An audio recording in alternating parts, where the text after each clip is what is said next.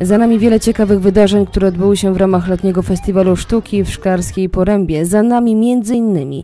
warsztaty pod hasłem Przystanek Szkło i Ekologika, podczas których uczestnicy mieli okazję zaprojektować własną biżuterię, tworzyć recyklingowe przedmioty, korzystać z różnych działań rękodzielniczych, tworzyć ogrody.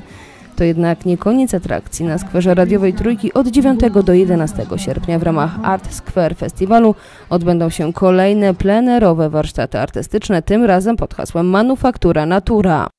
Będziemy próbować e, wszystkich materiałów, które tutaj się w regionie u nas e, wydobywa. Będzie to, e, będą to kamienie, otoczaki z rzeki.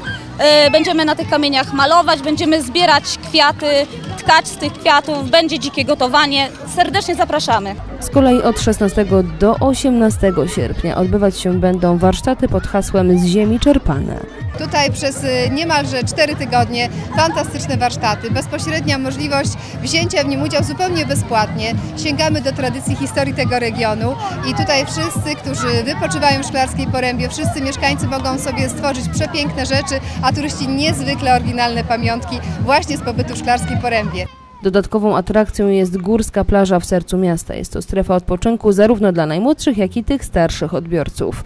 Informujemy, zakończenie festiwalu zaplanowano na 18 sierpnia.